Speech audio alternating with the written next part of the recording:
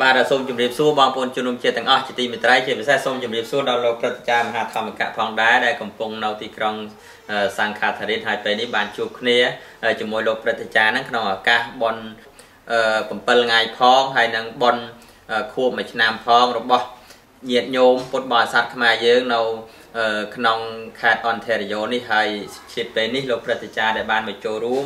ហើយខ្ញុំក៏មកចូលរួមបានជួបគឺមានក្តីរំភើបហើយដោយបងប្អូនបានដឹងហើយថានៅពេលណាដែលជួបលោកព្រឹទ្ធចារម្ដងម្ដងនេះយើងតែងតែញ៉ាំកម្ម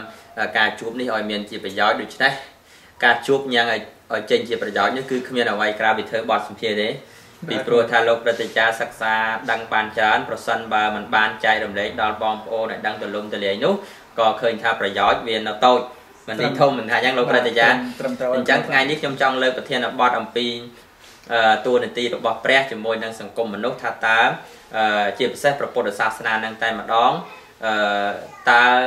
ខាអាចជួយអ្វីបានខ្លះទៅដល់សង្គមមនុស្សជាពិសេសសង្គមកម្ពុជាយើងបច្ចុប្បន្នដែលកំពុងតែជួបតែរងគ្រោះ យើងឃើញថានៅក្នុងប្រទេសកម្ពុជាបើយើងសម្លឹងមើលមកផ្លេតយើងឃើញថាប្រទេសនេះហាក់បីដូចជាផុតរលត់នៅភ្លើងសង្គ្រាមហើយសង្គ្រាមចោលឈ្លានពានសង្គ្រាមផ្ទៃក្នុងក៏រួចផុតហើយក៏ប៉ុន្តែបើយើងពិនិត្យឲ្យដល់ពិចារណាស៊ីជម្រៅនៅក្នុងទឹកចិត្តរបស់ប្រជារាស្ត្រហាក់បីដូចជាមិនមានសន្តិភាពមិនមានគេហៅថាសេចក្តីស្ងប់នៅក្នុងចិត្តនោះទេប្រជារាស្ត្រខ្វះស្បៀងអាហារប្រជារាស្ត្រប្រឈមនឹងការបាត់បង់ដីធ្លីប្រជារាស្ត្រ ដែលចង់សម្ដែងមតិប្រជារាស្ត្រដែលចង់ផ្លាស់ប្ដូរមេដឹកនាំប្រជារាស្ត្រដែលចង់បានសិទ្ធិសេរីភាពប្រជារាស្ត្រដែលចង់បានសិទ្ធិស្មើស្មើគ្នានៅចំពោះមុខច្បាប់ហាក់ដូចជាមិនបានទេដូច្នេះថាតើព្រះពុទ្ធសាសនាអាចដោះស្រាយអ្វីបានខ្លះលោកប្រតិចារអឺអរគុណក្មួយទៀតហើយសារជាថ្មីឱកាសនេះឃើញថាជាឱកាសមួយដ៏ល្អហើយក្មួយក៏បានញ៉ាំងកម្មវិធីនេះ ក្រោយអំពីដែលយើងបានប្រារព្ធពិធីបុណ្យតក្កេណានុប្រទានអឺក្នុងថ្ងៃនេះហើយខ្ញុំប្រកាសណាខ្ញុំនឹងក៏បានបំពេញការតបកិច្ចនោះហើយក៏មានភ័ព្វទេសនាថែមទៀតលោកអ្នករាយការណ៍ពិសេសហ្នឹងក៏បានមកជួបខ្ញុំគ្រាន់តែជួបភ្លាមក៏លោកនឹងធ្វើសេចក្តីអោនលំទោនដើម្បីគោរពអញ្ជើញខ្ញុំនឹងមកធ្វើបទសម្ភាសអញ្ចឹង សម្ភារក្នុងថ្ងៃនេះគឺហាក់ដូចជាមានប្រធានបទល្អណាស់ប៉ុន្តែមុននឹងខ្ញុំប្រកាសណាខ្ញុំធ្វើការអធិប្បាយស្រាយបំភ្លឺខ្ញុំប្រកាសណាសូមគោរព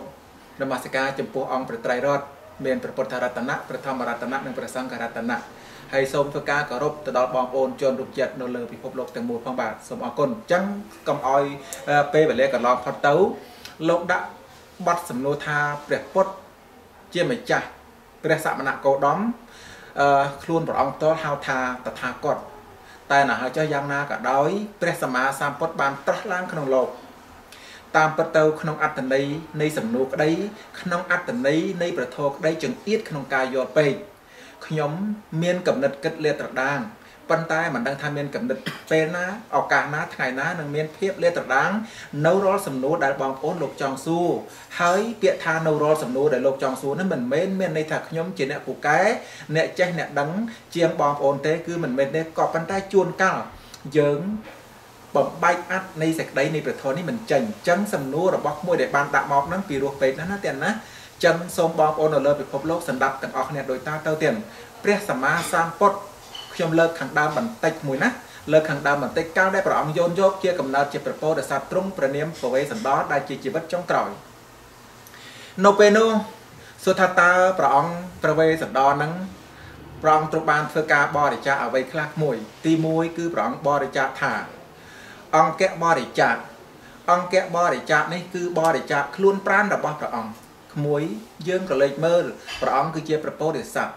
ហើយព្រះអង្គគឺជាអ្នកគ្រប់គ្រង ប្រជានរះក្រមអវាទហើយមិនតែប៉ុណ្ណោះទេព្រះអង្គសឹកតែលះបង់នៅខ្លួនប្រាណរបស់ព្រះអង្គបើសិនជាអ្នកណាម្នាក់ប្រាថ្នាចង់បានអវយវៈរបស់ព្រះអង្គសុទ្ធថាចុះដើម្បីអ្វីគឺដើម្បីឲ្យបានត្រាស់ដឹងគឺយឹតយងសត្វលោកតែម្ដងហ្នឹងគឺនៅក្នុងសង្គមណាមួយណាដើម្បីយឹតយឹតយងសត្វលោកឲ្យរួចផុតចាកអំពីសេចក្តីទុក្ខចឹងបានន័យថាពាក្យថាពុទ្ធការកធម៌មានន័យថាម៉េចពុទ្ធការកធម៌នេះដល់រាបណាដល់រាបណាធ្វើការបរិច្ចាគ មាននៅក្នុងបារមីទាំង10ចែកចេញជា3បានន័យថា30អញ្ចឹងទី1អង្គបរិច្ចាគព្រះអង្គគឺមិនខ្លាចបកលណាអឺធ្វើអ្វីចំពោះព្រះអង្គឬក៏ចង់បានអ្វីអំពីអវយវៈរបស់ព្រះអង្គគឺព្រះអង្គធ្វើការបរិច្ចាគទាំងអស់នេះទី1ទី2បានន័យថាយ៉ាងណាកន្លែងនេះសំខាន់ណាស់ក្មួយដែលបានដាក់សំណួរមកណាក្មួយណាមនុស្ស80%យើងសប្តាហ៍កំពុងតែច្រឡំខ្លាំងណាស់ប៉ុន្តែបើសិនជាឱកាសនេះបងប្អូនលោកចង់ សួរចង់ដេញដោលយ៉ាងណាក៏លោកសួរចោះសាកចោះនៅពេលដែលខ្ញុំអត្ថាធិប្បាយស្រាយបំភ្លឺហើយអញ្ចឹងអង្គទី2ពោលគឺធនបរិច្ចាគធនបរិច្ចាគនេះមួយយើងច្រឡំព្រះអង្គទ្រង់ធ្វើការបរិច្ចាគទ្រព្យសម្បត្តិទ្រព្យធនទាំងឡាយកាលណាព្រះអង្គបានដាក់ទៅហើយសួរថានេះគឺសិតសឹងតែជាពពនិមិត្តសម្រាប់ទុកឲ្យយើងមេអ្នកដឹកនាំណាមួយណាអញ្ចឹងមេអ្នកដឹកនាំ មិនគួរណាមិនគួរណាខ្ញុំសុំទោសណាទេណាមិនគួរណាល្ងិតល្ងងទេណាមួយណាមិនគួរទេគួរណាស់តែលះបង់សូម្បីតែទ្រព្យធនឃើញទេអ្នកដឹកនាំសពថ្ងៃមានសម្បត្តិរាប់កោតមានសម្បត្តិរកអ្វីមកប្រៀបមិនបានបជានរិះរបស់ខ្លួនក្រតោកយ៉ាយើងអត់ធ្វើការបរិច្ចាគទ្រព្យធននោះទេឃើញប្រាសចាកមែននេះក្មួយចឹងព្រះពោធិសត្វដែលប្រពុតមុនពេលដែលត្រាស់ដឹងហ្នឹងដែលព្រះអង្គធ្វើនឹងធ្វើទុកឲ្យអ្នកណាធ្វើទុកឲ្យសង្គម ធ្វើទុកឲ្យប្រជានរិះទាំងអស់ប៉ុន្តែដោយសារអ្នកដឹកនាំក៏មិនយល់យើងគ្រប់គ្នាក៏មិនសូវយល់នេះគឺជាបទទី2ណាក្មួយណាបទទី3បានន័យថាម៉េចបានន័យថាបតបរិច្ចាគបតបរិច្ចាគនេះ80%ទៀតមនុស្សកំពុងតែច្រឡំខ្ញុំលើកឧទាហរណ៍ក្មួយក្មួយជាវរៈជនម្នាក់ ឈ្មោះថាវរៈជនប៉ុន្តែក្មួយមិនទាន់បាន ពលីក្នុងការបរិច្ចាគបុត្ររបស់ក្មួយដូចជាព្រះពោធិសត្វទេ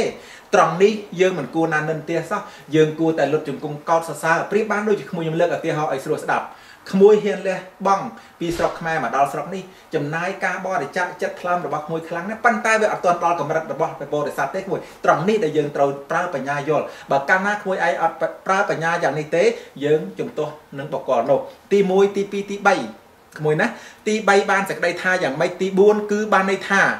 អឺដល់រួចប៉ុណ្ណឹងហើយបានន័យថាជីវតៈបរិច្ចាគសូមបីតែជីវិតរបស់ខ្លួនព្រះអង្គក៏ព្រះអង្គមិនគិតដែរឃើញទេ ទី1បើអ្នកណាចង់បាន ក្នុងន័យនេះគឺសំដៅនិយាយឲ្យចំអស់លោកសាតស័ព្ទរស់ទាំងឡាយ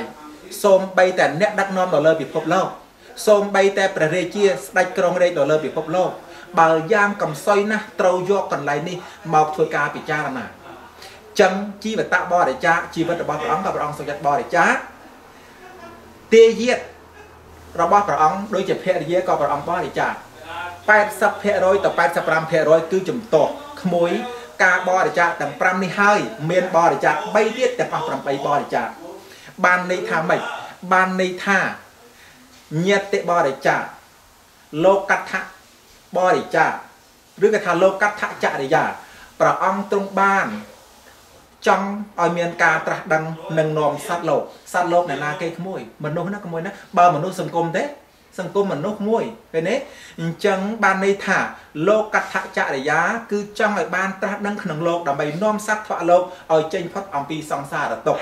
ប៉ុន្តែពោពេញទៅដោយបុគ្គលដែលមានអវិជ្ជាមិនបានឃើញមិនបានយល់ដែលប្រពោធិសត្វបានធ្វើនោះឡើយទី1ក្នុងចំណោម5បានន័យថាទី7ទៀតយ៉ាងណា គឺបានន័យថាញាតញាតតថ បរិច្ចាចរិយាហ្នឹងគឺញាតតថចរិយាគឺដើម្បីត្រាស់ដឹងឲ្យបានជួយញាតទាំងអស់របស់ព្រះអង្គយ៉ាងណាមិញក្មួយឃើញទេសូមបីតែប្រមេដារបស់ព្រះអង្គក៏ព្រះអង្គសង្គ្រោះបានសូមបីតែញាតថៅទាំងឡាយសូមបីតែក្មួយក្តីសូមបីតែខ្ញុំក្តីកាលណាយើងលុតជង្គង់ប្រណំដើម្បីដើរតាមកន្លងរបស់ព្រះពោធិសត្វក៏នឹងបានសម្រេចដូចគ្នាទី3ក្នុងបទទី3ចុងក្រោយនេះបានន័យថាម៉េចពុទ្ធចរិយា ពុទ្ធចរិយានេះគឺឲ្យបានត្រាស់ជាប្រពុតចឹងសំណួរបន្តមកហ្នឹងដែលក្មួយសួរខ្ញុំថាចុះទូនាទីរបស់ប្រពុតធ្វើអីខ្លះក្មួយអស់លោកសាទស័ព្ទអរោះទាំងឡាយបទនេះពីរោះរំដំយើងមើលមិនឃើញ យើងចាប់មិនដល់យើងយល់មិនដឹងដោយសារយើងមិនមានបច្ចវេកណញ្ញាណតែយ៉ាងណាក៏ដោយចុះរីឯរូបខ្ញុំក៏មិនមែនជាអ្នកដើម្បីយល់ឲ្យធ្លុះធ្លេនោះសោះទេក៏ប៉ុន្តែការយល់បន្តិចបន្តួចចំលើក ចំណុចសំខាន់ដែលមួយបានដាក់មកណាមួយណាចឹងដែលព្រះអង្គបានត្រាស់សឧបារសេសៈក្នុងលោកហើយក្មួយសួរថាតើព្រះអង្គទ្រង់ប្រមាលមើលអ្វីខ្លះបាទទី1ក្មួយម៉ោង3ព្រះអង្គទ្រង់បំពេញការតបកិច្ចអ្វីខ្លះព្រះអង្គទ្រង់ប្រើនៅចក្ខុរបស់ព្រះអង្គសោតៈរបស់ព្រះអង្គដែលឃើញថាតើសត្វណាព្រះអង្គនឹងឲ្យសាវករបស់ព្រះអង្គមានព្រះសរិបុត្រ មានមហាមោគលានមានព្រះអរហន្តនិងសាវកដតីដតីទៀតឲ្យទៅប្រោសបកលនោះឃើញទេនេះគឺដើម្បីយឹតយងមនុស្សទូទៅទាំងអស់ដើម្បីសង្គមដើម្បីសត្វថ្វលោកមួយទី1ទី2នៅពេលទាភ្លឺព្រះអង្គនិមន្តបិណ្ឌបាតដើម្បីប្រោសសត្វមេត្តាទេក្មួយមេត្តាទេសន្តោសទេសួរថាចុះបើសិនជាអ្នកដឹកនាំសពថ្ងៃនេះដើរតាមផ្លូវហ្នឹងកង្វល់មានទេ មានការគិតពិចារណាអ្វីត្បិតតែអ្នកដឹកនាំព្រះរាជាមិនបានធ្វើដំណើរឲ្យត្រូវ100%តាមព្រះពុទ្ធដែលបានត្រាស់ដឹងសអបារសេសៈក៏ដោយចុះឲ្យតែនោះនឹងដើរតាមហ្នឹងក៏គង់នឹងបានសេចក្តីសុខនៅចំណែកណាមួយដែរ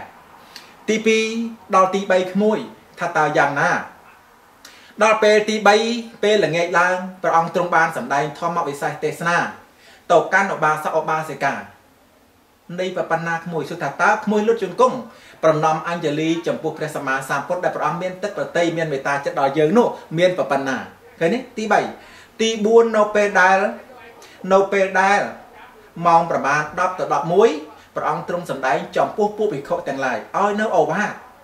ក្មួយពិចារណាជាមួយខ្ញុំតិចមើលក្មួយម៉ោង3អត់មានពេលសម្រាប់សោះស្រាប់តែដល់ម៉ោង6ចាត់ចែងកិច្ចការស្រាប់តែដល់ម៉ោង10 11 ព្រះអង្គទ្រង់សម្ដែងធម៌ឃើញនេះក្មួយ ដល់ភិក្ខុភិក្ខុណីថែមទៀតដល់ពេលពាក់កណ្ដាលអត្រាតម៉ោង2ទៅម៉ោង1ព្រះអង្គទ្រង់សម្ដែងធម៌ដល់ពពួកទេវតាអស់លោកសាទសប្បុរសទាំងឡាយសួរថាតើព្រះអង្គបំពេញការតបកិច្ចទាំងអស់នេះដើម្បីមនុស្សឬក៏ដើម្បីអ្នកណាមួយឆ្លើយខ្ញុំអាម៉ាត់បានទេក្មួយ ដើម្បីអ្នកណាគេដើម្បីមនុស្សដើម្បីមនុស្សទូទៅទាំងអស់ក្មួយយ៉ាងណាមិញក្មួយកាលនោះប្រហែលជាក្មួយបានស្ដាប់ធម៌របស់ព្រះផងក៏មិនដឹងប្រហែលជាខ្ញុំកាលនោះបានស្ដាប់ធម៌របស់ព្រះផងក៏មិនដឹងបានតែថ្ងៃនេះក្មួយមកអង្គុយទីនេះដើម្បីធ្វើបទសម្ភាសន៍ឲ្យខ្ញុំប្រហែលជាមានកម្លាំងនិស័យឬក៏ឧបនិស្ស័យពីពេលនោះដល់ថ្ងៃនេះផងក៏មិនដឹងក្មួយអត្តន័យណាក្មួយណាដែលក្មួយបានសួរខ្ញុំដើមចំរបស់ព្រះពោធិសត្វដែលត្រូវបំពេញការតបកិច្ច ចំពោះមនុស្សនៅពេលដែលព្រះអង្គបានត្រាស់ដឹងការតបកិច្ចរបស់ព្រះមិនមែនប៉ុណ្ណឹងទេក្មួយច្រើនជាងនេះឆ្ងាយតទៅទៀតណាស់ក៏ប៉ុន្តែខ្ញុំលើកគោលសំខាន់ត្រឹមប៉ុណ្ណឹងសួរថាតើក្មួយនៅមានសំណួរយ៉ាងណាយ៉ាងណាដាក់បន្តទៀតក្មួយ